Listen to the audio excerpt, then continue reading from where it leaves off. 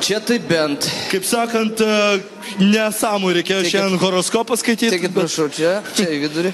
Nesmė. Dar truputėlį, dar truputėlį.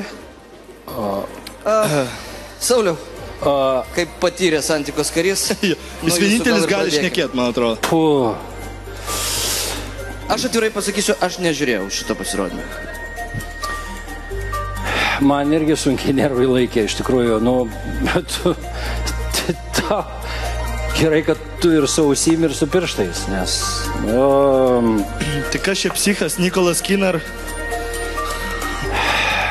nu, tai, tai yra nu, neįtikėtinai sunku vertinti tokius dalykus, kurie vyksta šiandien ant, ant Lietuvos talentų scenos.